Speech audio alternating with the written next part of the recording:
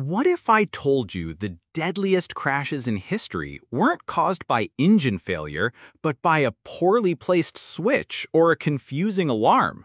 This is the world of human factors, the science of designing systems that work with our human limitations, not against them. Bad design creates chaos. Imagine two identical levers side by side, one for landing gear, the other for flaps. Under stress, a pilot's memory can fail, but smart design provides intuitive clues. The landing gear lever is shaped like a tiny wheel. The flaps lever is shaped like a wing. No confusion possible. And it's not just in the sky. Nuclear power plants, surgical operating rooms, and mission control centers all depend on this life-saving science.